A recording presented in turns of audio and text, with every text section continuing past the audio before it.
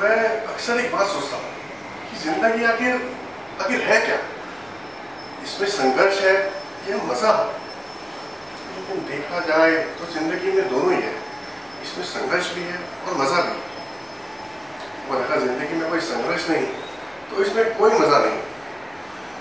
और और अगर ज़िंदगी में कोई मज़ा नहीं तो इसमें कोई रंग नहीं। तो देखा जाए ज़िंदगी दोनों ही है। रंगीन भी और मज़ेदार भी।